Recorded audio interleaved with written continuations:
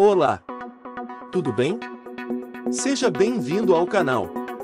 Hoje você vai ter acesso a mais uma notícia quentinha em primeira mão. Para não perder mais nenhuma novidade, deixe seu like e se inscreva no canal.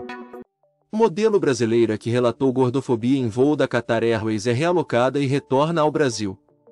Nas redes sociais, Modelo disse que companhia aérea negou que ela embarcasse e exigiu que fosse comprada a passagem na classe executiva.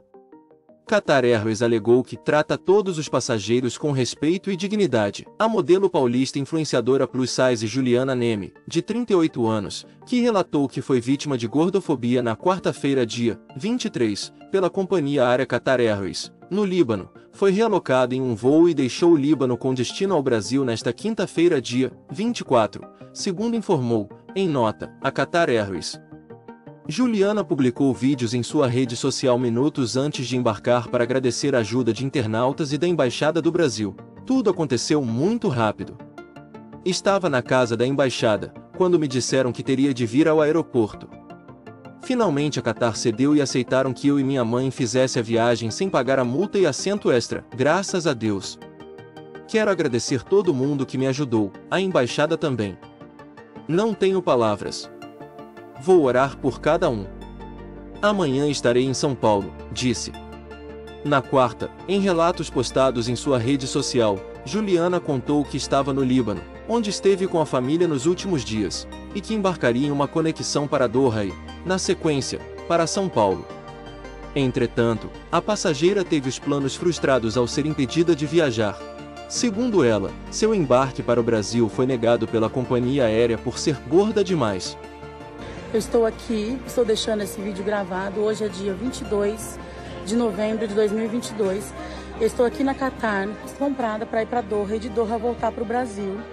E simplesmente a aeromoça da Qatar disse que eu não posso embarcar porque eu sou muito gorda e eu não, não tenho direito a essa passagem. Eu paguei mil dólares na minha passagem, seis mil reais na minha passagem. Estou eu, a minha mãe, meus, minha, minha irmã e meu sobrinho. Nós, nós pagamos quatro mil dólares por essas passagens e agora ela simplesmente se nega a me dar as passagens e a me deixar embarcar no voo para Doha e de lá para São Paulo, porque eu sou gorda. Porque eu sou gorda e não posso embarcar. Agora, o que, que eu vou fazer? Eles, eles querem, eles estão negando o direito.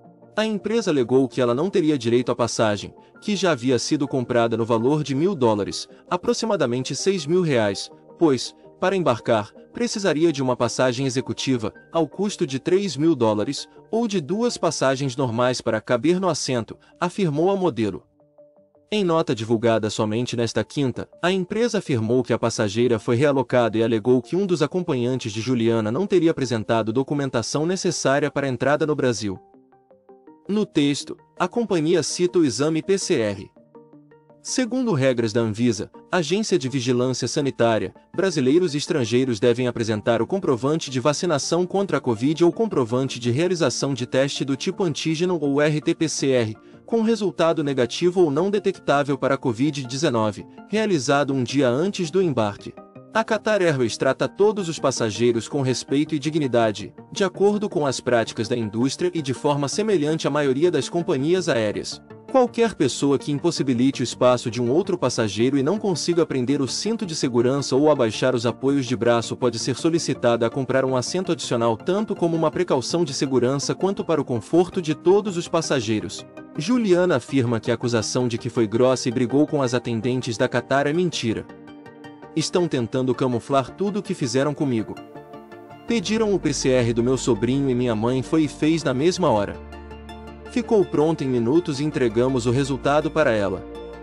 Em seguida, foi quando tudo começou. Ela me disse que não era bem-vinda no voo porque eu era gorda e o resto vocês já sabem, escreveu. Quer ter acesso a mais conteúdos de notícias exclusivas? Deixe seu like e se inscreva no canal.